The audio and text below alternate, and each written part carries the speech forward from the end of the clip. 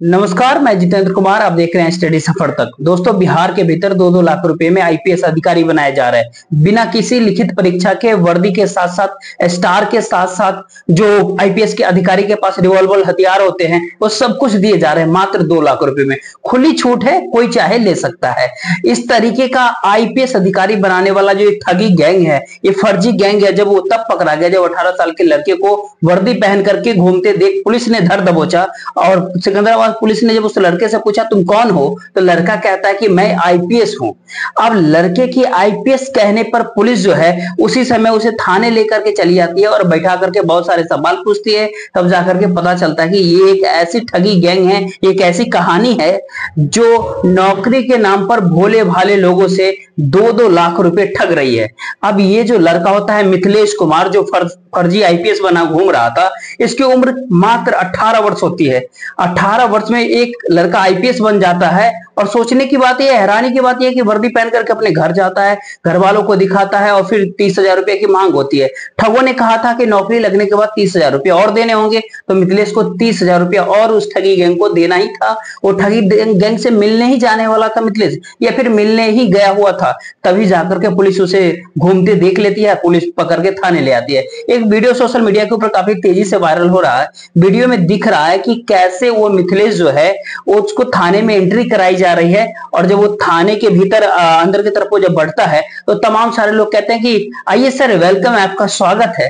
पीछे से एक आवाज़ आती है कि, आईपीएस है क्या? आईपीएस? वाह, सोच लीजिए कि वो वीडियो या फिर वो पोस्ट या फिर वो जो जो काफ़ी मेहनत के बाद मिलती है, उस तरह के मज़ाक ठगी गैंग कैसे करता है? इस वीडियो के माध्यम से सारी बातें आपको बताएँगे। वीडियो में बने रहिए। ये जो ठगी गैंग है, वो बिहार में इस तरीके से एक्टिव है कि नौकरी के नाम पर कुछ भी बेचने को तैयार है। अब सोच के देखिए, कल्पना करके देखिए कि यूपीएससी जैसी कठिन परीक्षा के बाद किसी को आईपीएस अधिकारी जैसे पद मिल पाता है।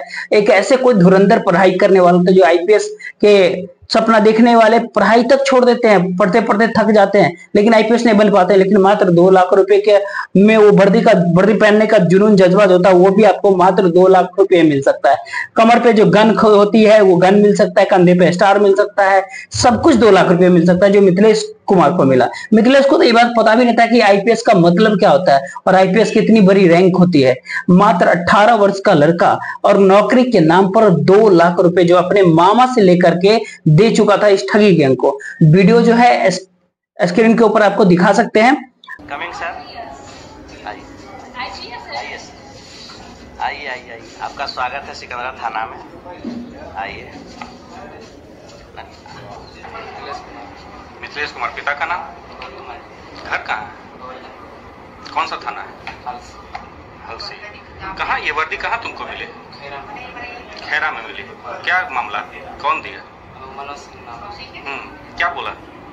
दो लाख रुपए दो हम तुमको ये नौकरी दिलवा अच्छा तो दो लाख रुपया तुम दे दिया? हाँ, कब? एक महीना हो गया चार तारीख एक महीना पहले? एक महीना पहले चार तारीख ठीक है तो ये वर्दी आज तुमको कहाँ दिया?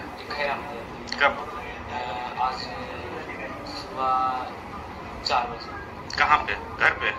नहीं खैरा चौक है हम्म। वहाँ सरकारी हॉस्पिटल पूरी कहानी आपको बताते हैं कि युवक का नाम मिथिलेश होता है। उसकी उम्र 18 वर्ष होती है। लखीसराय ज़िले के हसली थाना क्षेत्र के गोवर्धन बीघा इलाके का रहने वाला ये लड़का होता है। और तमाम सोशल साइट्स के ऊपर जो खबरें वायरल होती है, उससे ये पता चलता है कि जमुई के भीतर सिकंदरा थाना पुलिस को ये बात जानकारी मिली कि वो एक आईपीएस बना घूम रहा है। एक व्यक्ति आईपीएस की वर्दी पहन करके घूम रहा था। उसके बाद पुलिस ने मिथिलेश को धर दबोचा और सिकंदरा चौकी पुलिस स्टेशन लेकर के चली आई। तभी मिथिलेश के पास से एक बाइक मिली, दो सौ रुपया मिलता है और जो मिला वर्दी, वो वर्दी के साथ एक गन जो कमर पे खोसी जाती है।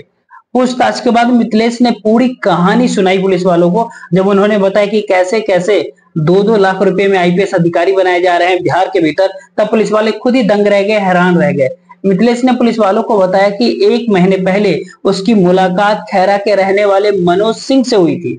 वो मनोज सिंह जो ठगी गैंग का हिस्सा है, मनोज सिंह ने ही युवक से बताया था कि कथित तौर पे ये युवक का कहना है, मिथिलेश कुमार का कहना है कि मिथिलेश को कहा था कि तुम पैसे दो, तुम्हें नौकरी देंगे।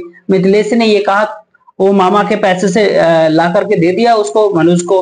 और ये पूरी कहानी सोशल मीडिया के ऊपर काफ़ी तेज़ी से वायरल हो रहा है। बाकी बहुत बड़ा सवाल ये होता है कि आखिर 18 वर्ष की नाबालिग बच्चे का जो पुलिस के द्वारा जो वीडियो बनाया गया, उसको वायरल किया गया, वो सबसे बड़ा सवाल होता है कि क्योंकि सभी को ये बात बताया जाता है कि जो कम उम्र के जो लोग होते हैं बच्चे, उनके वीडियोज़, फ़ोटोज़ जो है, सोशल मीडिया पे नहीं आना चाहिए। उनका चेहरा रिवील नहीं होना चाहिए। तो ऐसे में थाने के भीतर व्यक्ति पुलिस को क्या इस चीज़ की जानकारी नहीं होती है क्या?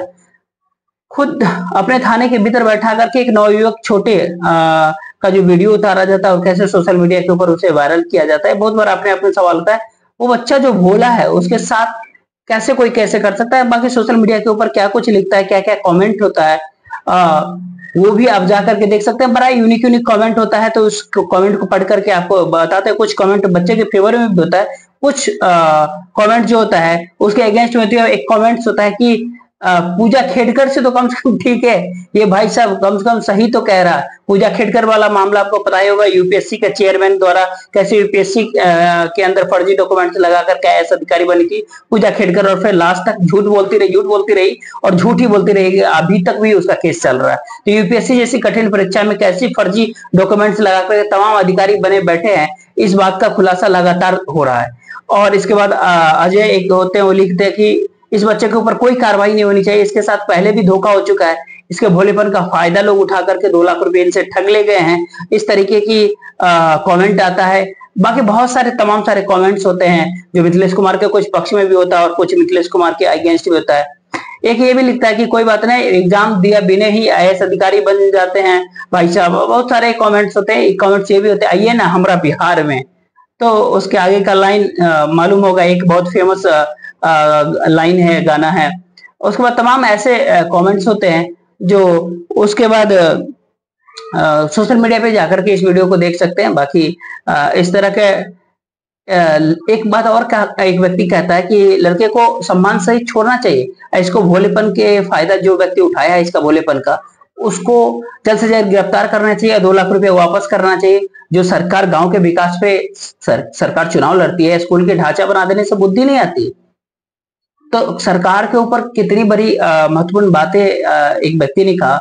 और स्कूल में अगर बेहतर शिक्षा मिल पाता, शायद अधिकारियों से परिचय कराया जाता तो शायद इस व्यक्ति को पता होता कि यूपीएससी जैसी कठिन परीक्षा देने के बाद कोई आईपीएस अधिकारी बनता है दो लाख रुपए में आईपीएस जैसा पद पाना बहुत मुश्किल है। लेकिन अफसोस ये कि बिहार उत्तर प्रदेश की बात किया जाए तो शिक्षा व्यवस्था सरकारी स्कूल के भीतर कितना खराब है। ये आपको बताने की ज़रूरत नहीं आप सबको पता है। और वहीं दूसरी तरफ़ आ, बच्चे का चेहरा रंग रूप और वेशभूषा से ही पता चलता है कि एक गरीब परिवार से आता है।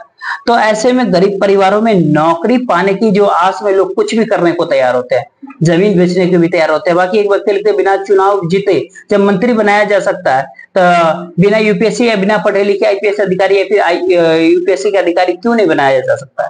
ये बिहार है यहाँ पर कुछ भी हो सकता है हमारे पलटू जैसा कुछ भी करवा सकते हैं। इस तरह के तंज एक व्यक्ति लिखते हैं। तो तमाम सारी चीज़ें हैं, तमाम सारी चीज़ें लोग कमेंट कर रहे हैं सोशल मीडिया के ऊपर। बाकी आपको क्या लगता है इस वीडियो को देखने के बाद? इस तरह के मासूम बच्चों को ठगी का शिकार बना करके आईपीएस जैसा रैंक दे देना, भर्ती दे देना, बिहार के एजुकेशन पे भी सवाल उठता है। और बिहार के भीतर जो ये ठग गैंग जो एक्टिव है, इन तमाम गैंगों को आखिर प्रशासन के ऊपर भी इनसे सवाल खड़े होते हैं कि ये जो ठग गैंग है बिहार के भीतर एक्टिव क्या उनको प्रशासन का डर नहीं होता है खाकी वर्दी का डर नहीं होता। है किस तरीके से मासूम लोगों को अपना शिकार बना लेते हैं।